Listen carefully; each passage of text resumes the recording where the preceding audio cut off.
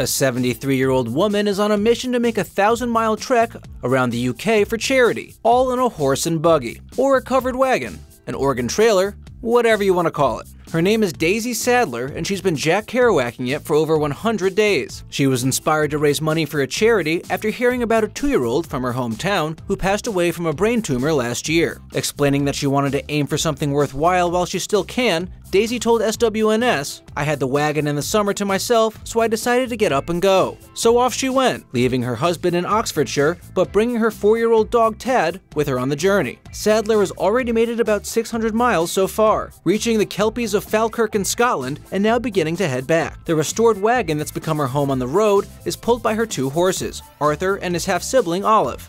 It's pretty cushy on the inside. Along with her bed, there's a mini wood burner, solar panels, LED lights, USB ports, and a mobile Wi-Fi hub. The food's less lavish, since she's relying primarily on mountain camping food, but says she's gotten plenty of homemade goodies along the way. She's raised nearly 13,000 pounds, or around $17,000, for an organization called the Brain Tumor Charity, saying, I've had lots of funny looks and people asking me what I'm doing, but I can't believe how generous people have been. Well, Daisy, it takes one to know one, since you sound pretty generous too.